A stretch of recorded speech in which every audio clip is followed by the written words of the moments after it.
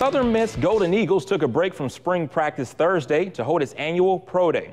25 scouts from NFL teams were on hand. Former DB Kalan Reed drew the most attention, picking up right where he left off when he set a record with 19 passes defended last year.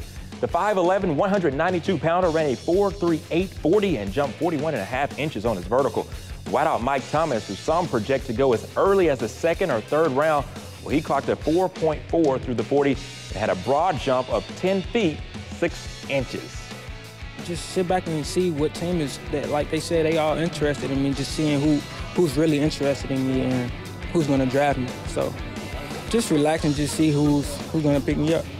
I've heard mid to late rounds. I've, I've talked about every team. Uh, I got a couple visits coming up and a couple meetings with other teams, so see how that goes. Five players from Alcorn also tested at USM.